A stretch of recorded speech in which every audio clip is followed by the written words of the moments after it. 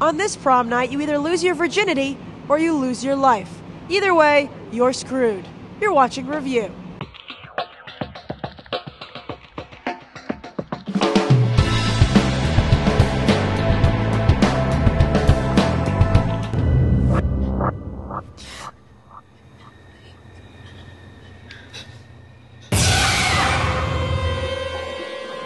What's going on? He's locked all the exits. I can't find Lisa. Please don't do this. Please. I got officers down. I need backup now. Where is she? Oh. Prom night. Sony Pictures smartly targets the teen audience with this new horror film, putting a twist on the night you're never supposed to forget. And there are so many horrors on prom night finding the right dress, dealing with an unreasonable curfew, propping up your drunk date. Although for Donna, played by Hairspray's Brittany Snow, a dangerous man from her past returns and begins killing people. That might take the cake in terms of bad prom nights. But hey, at least she has a date.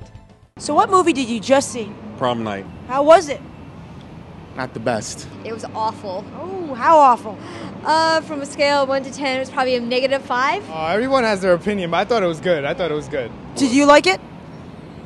It was okay. It wasn't what I expected, but it was okay. What were you expecting? I don't know. The way they showed the previews, it looked exciting, like it was going to be something really great, and it really wasn't all that great. There's really nothing to do with prom. Very little. So it's like prom week? Not even prom week. It's more like a, you know, get away at a hotel and get murdered. It was, it was great. It was, uh, it's better than our prom. Oh, Really, the hotel was really nice. No one has a prom like that. movie prom. Movie prom, yeah, Movie yeah. I like the fact that the movie didn't end when everyone thought it was gonna end. It kept going.